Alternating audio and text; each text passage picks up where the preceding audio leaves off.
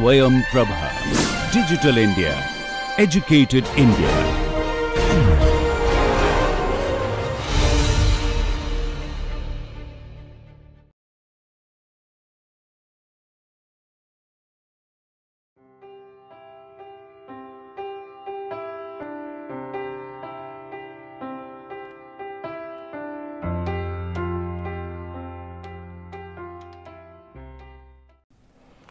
Hello everybody, good day today. We will discuss structure function. The topic is system safety quantification by structure function approach. So, we will discuss the basic of structure function and then several examples I will put forth so that you will understand the structure function approach and the lecture is prepared from the book probabilistic risk assessment and management for engineer and scientist Kumamoto and Henley. So, what is structure function? So far what have you seen? You have seen fault tree and uh, and and event tree and then in fault tree, fault tree cut sets, then we have shown you uh, different quantification in terms of basic events and then we started the uh, safety system safety quantification where we have defined that the system is available if the top event does not exist top event in the fault tree. So, then we have shown you that how to compute the system safety particularly from uh, fault tree quantification point of view where the top uh, every fault tree has a top event and then uh, probability of top event if it is a failure event then that is the unavailability of the system and if the top event is a success event that will ultimately tells you the availability of the system and we also consider one top event at a time not several top events.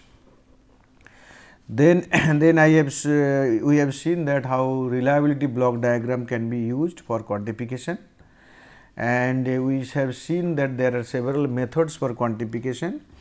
Uh, one of the methods is structure functions, another one RBD reliability block diagram we already given to you Another one is the truth table that is also you have seen in my last lecture. So, today our discussion will be on use of structure function in quantifying the system safety particularly in terms of fault tree or success tree.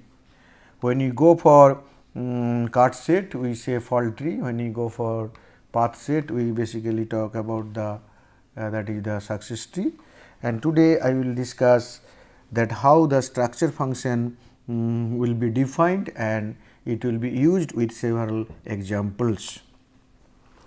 So, essentially the what is the definition of uh, structure function? You have seen in any fault tree there is a top event and then there will be several bottom events, several bottom events. So, suppose if we say this is B 1 and this is B 2 in this manner, this is B n, there are n number of bottom events or basic events. We started thinking i equal to that 1 to n. Okay, so that means n number of basic event. So, then the B i is basically the ith basic event. So, we will relate a variable called y i with reference to B i the basic event i in such a manner that these relations hold. What is the relation here? y i equal to 1 if the basic event exists. So, suppose this is basic event B, B1. So, B1 uh, either it is unavailable or available, unavailable means it is failed or it is working.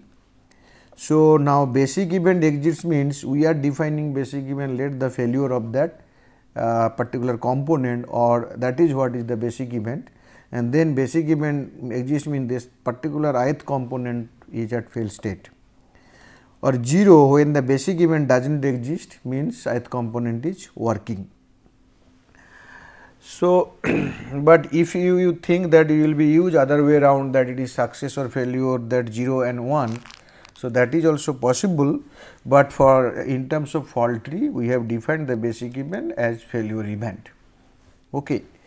So, now if I if I say y i is the y i is basically 1 or 0 depending on the basic event exist or does not exist and in the fault tree format all those basic events basically uh, leading to the top event. So, we will create another function for top event which is indicator variable psi y. So, that is what is the psi indicator variable psi y? Psi y talks about the top event point of view. So, top event if it occur exist then it is 1 if top event does not exist it is 0. So, then essentially what happened in structure function you have defined two indicator variables two types of indicator variables one for basic event another one for top event.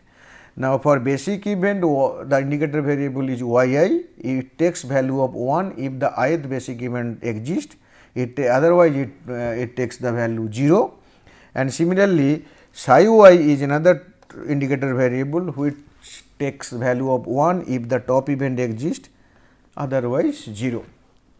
Okay. So, this is what is basically the definition. Now, our sole purpose is that psi y, psi y the top event will be a function of basic events. So, y 1, y 2, y n function of basic events. So, this is what is our structure function. So, that means psi y is a function of that top event indicator variable is a function of basic event indicator variable that is our function. Now, using this we will be able to find out the system unavailability, availability and that is what is the primary concern in case of uh, computation system safety computation. Okay. Now, you require little bit of little bit of uh, that boolean algebra and uh, event boolean form and algebraic operations that knowledge you require. We say bi is basically the basic event ith basic event and in terms of boolean suppose basic event exists means y i equal to 1 and in algebraic form also we write y i equal to 1 that means note is that remark is that event i exist. When you write bi bar we have seen earlier so that means event does not exist. So, y i is 0 and in algebraic form y i also 0. So, event does not exist. Now, when we talk about intersection b i intersection b j this is basically then we are basically talking about that y i intersection j equal to 1 that means that intersection exists kind of things.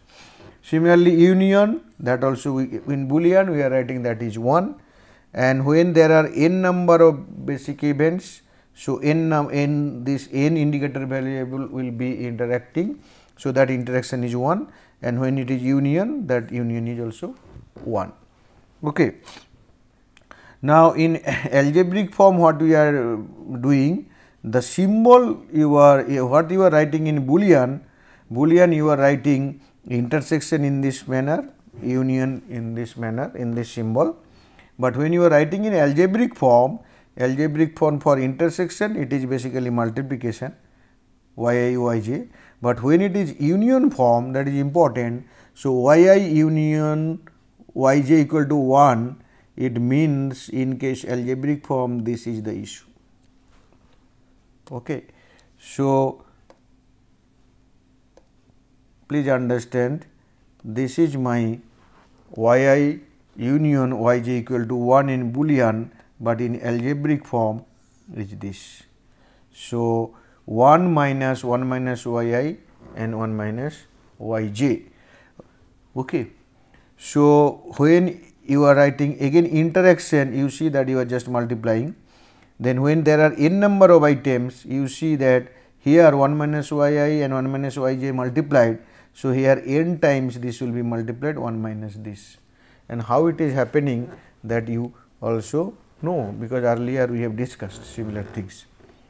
Then what is the actual physical meaning is that, so uh, from probability point of view when we use indicator variable then the probability value suppose probability b i intersection b j is nothing but expected value of y i intersection y j. Similarly, for union case expected value of this similarly when there are n number of item interacting this or union of this. So, okay. so this is what is basically you have to understand that when you are writing uh, events then you are writing either intersection in this manner union in this symbol. You when you are writing in terms of boolean intersection this union this. And when you are writing in terms of algebraic form then you are using for intersection all indicators variable are multiplied, but when there is union then you are writing first finding out that complementary of this 1 minus that 1 minus y i and then multiplying all those things and then finally, all that multiplied terms com complete term is subtracted from 1. Okay. So, this is the this is the way of representation hmm, for the uh, different kind of um, situations. Okay. So, please keep in mind. Now, with this simple uh, the representation then we will go to the next slide where our aim is basically that we will will show you that in case of AND gate and OR gate how the structure function works. I already told you that probability of y i equal to 1 that is nothing but probability that if b i event event b i b, b i exists this is nothing but expected value of y i where y is a indicator variable. Now, then what will be the probability of top event which is basically system unavailability? Then it will be probability that psi i equal to 1 which is the top event indicator variable. And that is nothing but expected value of psi i psi y and this is nothing but sum of psi y and probability y. So, this is this is another uh, important expression for you. So, what you have done here you have created y i indicator variable. So, you are considering all y i and then then you have also found created indicator variable for the top event. So, then ultimately what happened you are basically finding out that multiplication of psi y and probability of that y and then summing that all for all the uh, all the uh, events hmm. i all y that is why and this is what is our formulation Boolean form and algebraic formulation we have given you. So, with these two first we will apply this table and see what happened to what happened to how do you compute psi y and then using this expected value we will show you how you will compute the unavailability. So, let me tell you or you all know that as, as it is AND gate. So, psi y is a function of psi y 1 to y n it is basically this top event is a function of all the basic events. Now, this one because of AND gate we can if you use boolean you can write like this you see because of AND gate AND gate is this one. So, what you are writing this you are writing. So, this is nothing but intersection i equal to 1 to n y i which is this. So, we are writing like this then then this one if you write in terms of algebraic form so y1 to yn you see the same way you are writing now then what is the unavailability unavailability qst is expected value of psi y so you are writing expected value of psi y here now expected value of psi y means expected value of y1 into y2 in up to yn as y1, y2, yn are the basic event indicator variable. So, they and, and they are independent. So, they are the expected value of joint will be but tie, uh, actually expected value will be individual expected values multiplied. So, expected value of the multiplication of all the indicator variables will be equal to that expected values of each of the variables and then multiply the same. Okay. Now, if your gate is OR gate, this one was AND gate. Gate is OR gate. So, what will happen? You see, this is the Boolean form. So, you are first writing in the Boolean form. And then, if you want to write algebraic form, so algebraic form is this. So, 1 minus i equal to 1 to n 1 minus y i that is what we have write, written 1 minus 1 minus y 1 1 minus y 2 like 1 minus y n. Then QST will be expected value of this means expected value of the entire term and and then expected value of 1 is 1 now expected value of all those things as y 1 to y n are independent then 1 minus y 1 to and 1 minus y 2 they are also independent. So, as a result you are what you are doing expected value you are multiplying expected each of the expected values.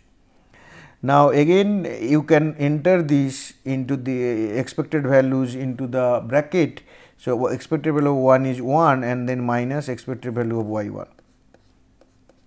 So, this is the form. Okay. So, wherever you get AND gate expected value you will basically multiply the terms and expected value will be expected value of multiplication of all the indicator variables and whenever you are having a OR gate this is the uh, algebraic expression uh, for OR gate this one and then this is the expected value or QST. So, okay. so this is basically uh, just representation in terms of uh, in terms of basic event and the top event given different logic gates. And we may go for a complicated little complicated tree now and, and then let us see what will happen there.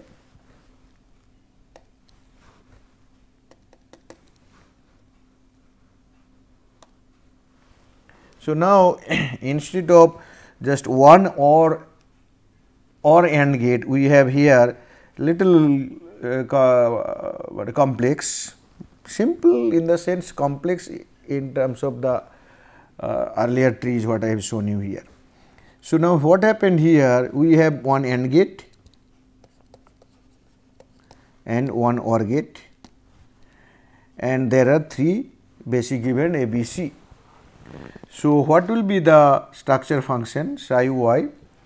So, this AND gate is there. So, intersection we are using. Now, this quantity you require to find out. So, this quantity is nothing but because of OR gate. So, YB and YC. So, what is YA, YB, YC? YA is indicator variable for this one if A exists otherwise 0. YB is indicator variable 1 0 and yc is again indicator variable 1 0 if it exists if it exists it is 1 otherwise not. So, then if I want to find out with this OR gate you have earlier seen the inputs will be union and for AND gate it is intersection. So, your structure function in terms of boolean you are writing like this. Now, you can write in terms of algebraic form. So, first you write algebraic form of this this intersection this the 1 minus 1 minus y b and 1 minus y c and and this is for this now intersection is there. So, y a multiplied by this. So, now if you just simplify this one doing some more algebra. So, you will be finally getting this equation. So, y a y b plus y a y c plus y a y b y c. Okay. So, that means this is my structure function for this kind of fault tree and then unavailability will be expected value of. So, QST is expected value of this. So, expected value of y a y b, expected value of y, y a y c, expected value of y a y b y c these three. This will be summed up and the, uh, this will be added and this will be subtracted. So, now y a y b again because of independent nature that will multiplied multiplied and this. So, this is your structure function for this fault tree.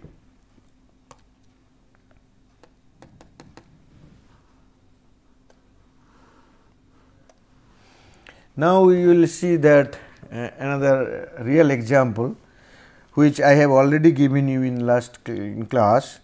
There we have said this is basically steel gauge quench and clean cleanup system. There are several component and there are three objectives. First one is that your redu reduction of temperature, then your basically quench that through quenching, then your basically moisturization and finally particles to be uh, to be removed.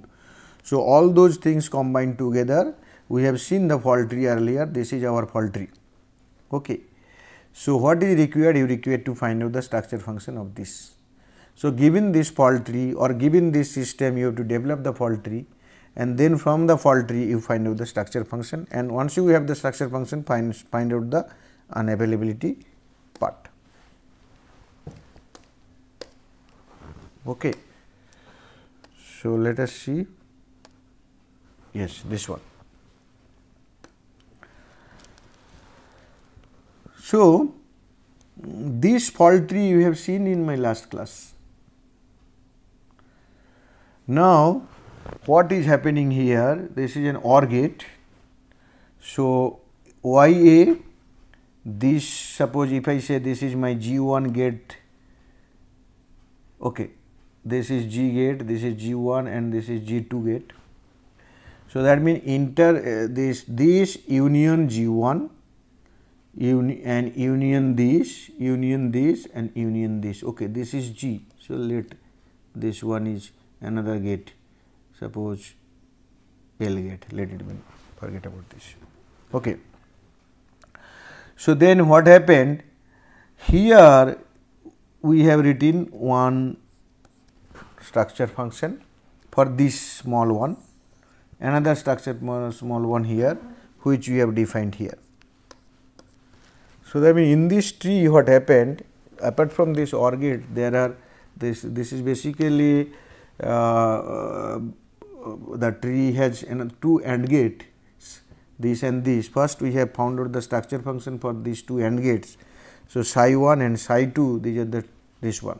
So, if I know psi 1 and psi 2 then A, B, A, D and G another basic events are known using this OR gate you can find out the boolean part like this. So, this union this union this all union.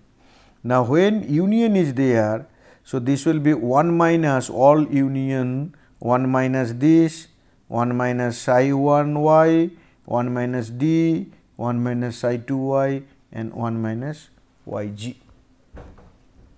Okay, so, this is the formula you have seen earlier. Now, then 1 minus 1 minus y a. Now, this one 1 minus psi 1 y this structure function its value is y b y c we put here. Similarly, other one is y e y f we put here. So, this is my structure function psi y equal to this. Then for, for QST what you will do QST is expected value of this. So, expected value of this once you put finally you will end up into this equation. So, with this example we have shown that how the structure function will be used in some real cases. Okay. Now, let us see another example gas oven system. Here you see there are many basic events. So, what we will do um, we let us let us write let us write suppose this is y a indicator variable for this y b for this y c for this again y b because this is uh, this is basically valve open this is valve open now this one y e and this is y f so that means y a equal to 1 means rupture takes place 0 means no rupture. Similarly, y f equal to 1 means valve C open otherwise 0. Now, we want to find out the structure function for this. So, so if you start from this top event that I want you want to find out the psi y here and because of OR gate and you have to first find out that how many inputs are there first inputs, second inputs and third inputs. So, if that means what you will do your psi y here equal to that first input, first input, this because of OR gate union second input again union third input. Okay. So, very easily you see the first input is y i y a. So, you write this one then union you are writing. What is the second input? Second input is, uh, is a AND gate with two event y b and y c two indicator variables or b and c events. Because of AND gate you use intersection. So, that means this is y b intersection y c. Then again your union is there, but for the third inputs you see so many things are there. So, what you do for the third input you start from the bottom then here OR gate. So, y e and y f. So, with OR gate we can write y e union y f.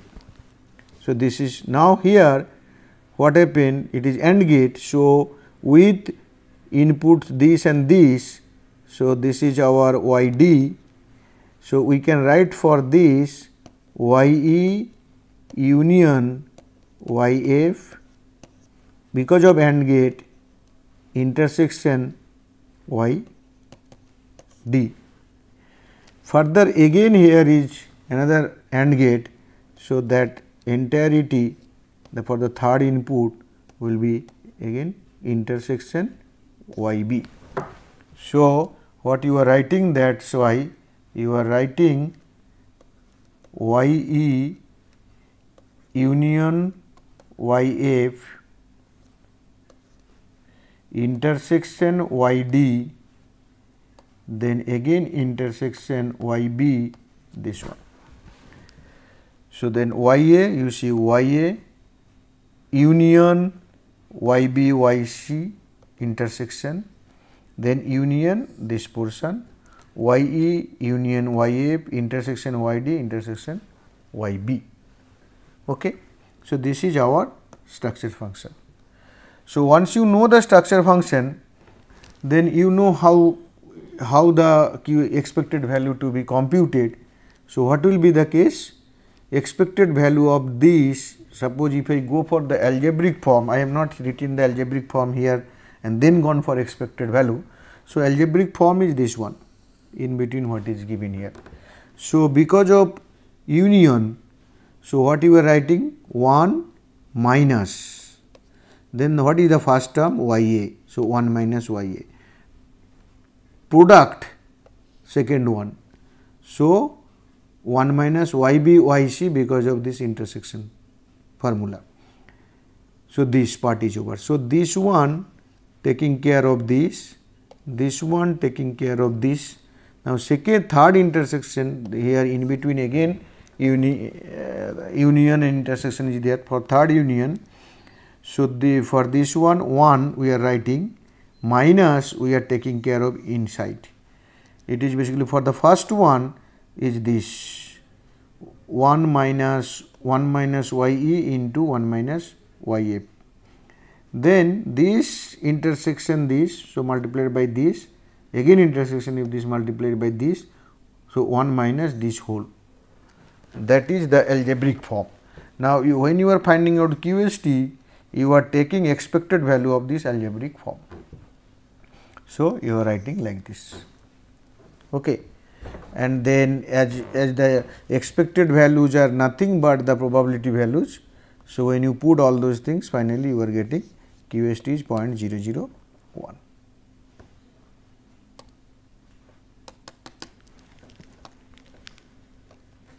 So, another example here pressure tank rupture. This fault tree you have seen earlier and in the same manner we have basically come found out the first you find out the structure function, structure function is this one. So, how many events? 6 different events are there. So, put the structure function values. So, or this is basically OR gate with two inputs. So, that is y b 1 and entire this one as inputs. So, now this one is an AND gate with two OR inputs. So, that means that in two OR inputs we have written like this and finally, we have decompose uh, we have basically integrated all those things and we got this structure function. Okay. So, I hope you will be able to develop this structure function because the similar way earlier I have shown you. Then QST you have to take the expected values. Okay. Now, let us see that if we put the uh, basic event probability values then using an use gate by gate method find out the top event probability and using structure function find the top event probability is it matching or not. You see using gate by gate method when we computed we found this. Now using structure function expected value is the probability value we are also finding out the same probability. So, it, it, will match when it is the small fault fault tree similar about similar kind of fault tree you can develop and compare the things, but for large fault it will be uh, when actually we should you should go for programs.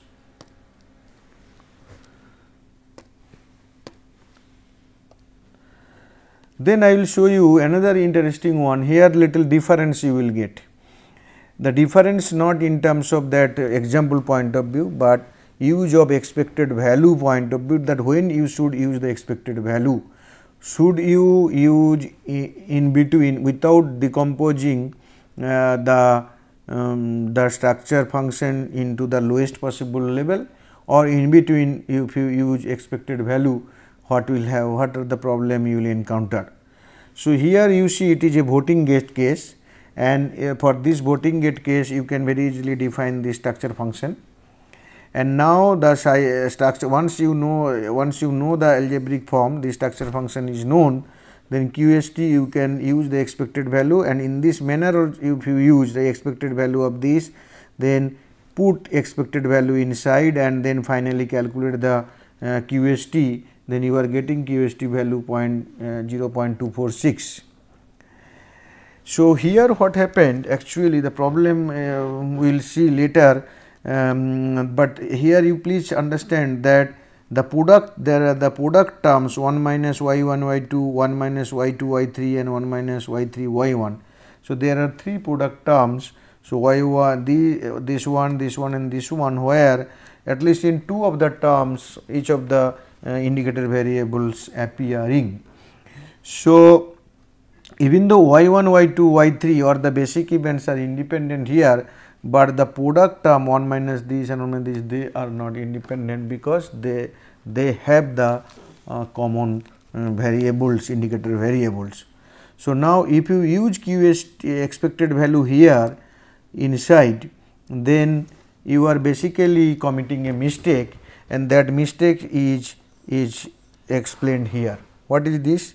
instead of putting expected value earlier if you further decompose this and you will find out interesting thing is that in the first term y 2 y 2 in the second term y 3 y 3 third term y 1 y 1 and the fourth one y 2 y 2 y 1 1 y 3 y 3 as y 1 is 1 when the uh, event exists then y 1 multiplied y 1 it is actually 1. So, as a result in boolean case. So, you have to write this y 1 y 2 y 3 and y 1 y 2 like this. So, you have to write like this. Okay. So, 1 minus 1 cancel out y 1 y 2 y 1 y 2 y 2 y 3 y 2 y 3 y 3 y 1 and this one when you when you uh, use this concept and then you find out that this has been basically reduced to minus 2 y1 y2 y3. So, now if you put expected value here that means you are basically using 0.3 and multiplying there. Here 2 times you are multiplying 0.3. So, it is not 1 into 1 is 1, it is 0.3 into 0.3 is 0.09. So, it is making the problem, creating the problem. So, that is why what happened when the product terms they are not independent ultimately if you use expected value formula earlier without decomposing the uh, the structure function to the lowest possible level you will commit mistake. And now what happened after decomposing to this level when we are calculating QST that is unavailability using the expected value then we are getting this value 0.216. So, we have written why this is happening because dependent product terms as, as each indicator variables appear more than once in the product. I have already told you. Please be careful for this kind of fault tree when you are using structure function and then the expected values you are uh, using. So, you should use the expected value at the lowest possible level not at in between. Okay. So, okay, thank you very much. I hope that you have understood. Good day. Thank you.